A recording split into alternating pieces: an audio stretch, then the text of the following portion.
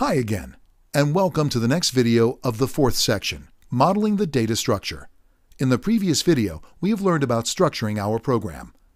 In this video, we will learn about the naming convention chess pieces and naming locations on the chessboard. Coming back to the old adage, data structures, not algorithms, are central to writing good programs. Therefore, it is important that we spend some time defining the data structure.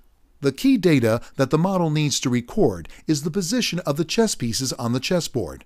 Accordingly, we first need a way to define these locations and a unique way to identify the chess pieces.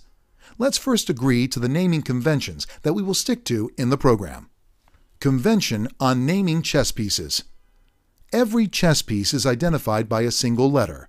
Pawn equals P, knight equals N, yes, knight with N, bishop equals B, rook equals R, queen equals Q, and king equals K. The white chess pieces are represented by uppercase letters, and the black chess pieces are represented by lowercase letters. Convention for naming locations on the chessboard. In order to assign unique identifiers to every square on the chessboard, we will mark the squares along the x-axis by using the letters A to H. We will mark the y-axis by using the numbers 1 to 8 respectively. Accordingly, the squares on the chessboard will be identified like this. Thus, A1 denotes the leftmost square at the bottom of the chessboard. Currently, it is occupied by a white rook. The C3 position is currently empty. E8 has a black king, and A8 has a black rook. Let's add this to the configurations.py file. Now, if you want to represent the chessboard at any point of time, all you need is a mapping of the location to the chess piece at that location. Looks like a perfect candidate for storing as a Python dictionary. Thus, the initial position of all the chess pieces on the chessboard could be represented here. We need this data to get started, so let's add this as a constant to the configurations.py file.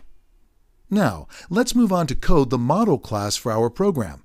We've already decided that we will use a Python dictionary to store the position of chess pieces on the chessboard. We can go ahead and add a dictionary attribute to the class. However, we will take a slightly different approach. Let's make model a child class of the built-in dictionary class. Thus, the self variable that refers to the current class object instance will also have all the properties and methods that are available to the dictionary. All the methods that are available to the standard dictionary class can now be called on the model object self.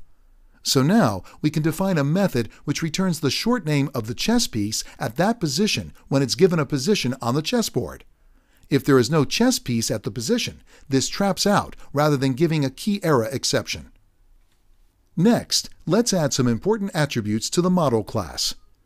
The half-move clock keeps a track of the number of turns played since the last pawn's advance, or the last capture. This is used to determine whether a draw can be claimed under the 50-move rule.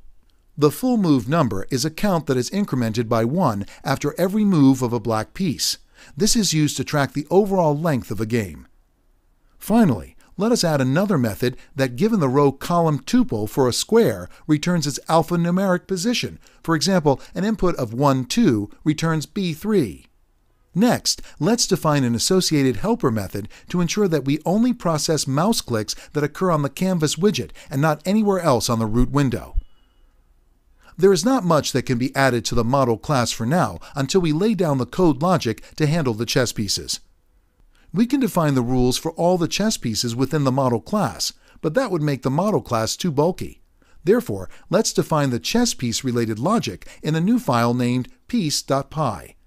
Since this is inherently a part of the model class, but it is defined in a new file, let's add a reference to the model class within this file. Let's do this next. Awesome! In this video, we have successfully learned about modeling the data structures. In the next video, we'll see how to create a piece class.